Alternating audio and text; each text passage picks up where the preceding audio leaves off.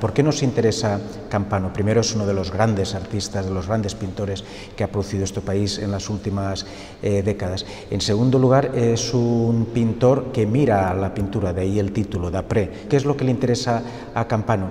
Le interesa la pintura como lenguaje, le interesa la pintura como un lugar a partir del cual trabajar, digamos, en los intersticios de, de los géneros. Para Campano, pintura, texto y arquitectura son elementos que están en armonía. De ahí que cuando vemos la exposición eh, nos da la impresión, como el propio Campano a veces eh, decía, de estar en una colectiva.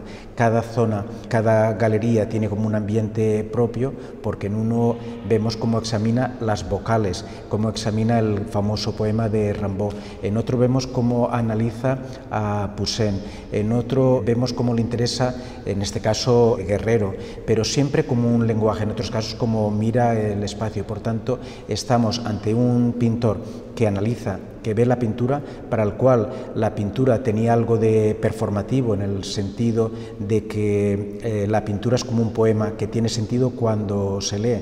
De ahí que en todas estas obras hay un elemento de repetición, hay un gesto continuo que va apareciendo y una otra vez, pero este gesto es siempre distinto, igual que la lectura de cualquier eh, poema es siempre igual y es siempre diferente. Y en eso, en ese entender la pintura como un lenguaje, es lo que Campano se diferencia de otros pintores de la época, es lo que hace de Campano un artista contemporáneo, un artista que podría perfectamente estar en las líneas eh, posmodernas donde se analizaban las imágenes de Metro Picture, etcétera, etcétera, eh, y un artista que entiende la modernidad, que entiende la historia como el pasado necesario para analizar el mundo en el cual vive.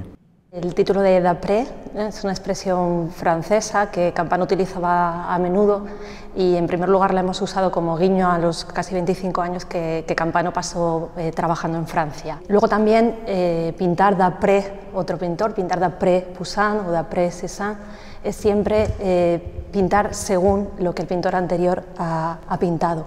Campano operaba a partir de lo que la historia del arte había dejado a disposición de los artistas, entonces operaba d'après Poussin, operaba d'après Delacroix, d'après Cézanne. En Campano es siempre un a partir de el pintor de cada momento. El diluvio, según Poussin, el diluvio d'après Poussin, es en el fondo para Campano una forma de partir de Poussin y hacer su propia pintura.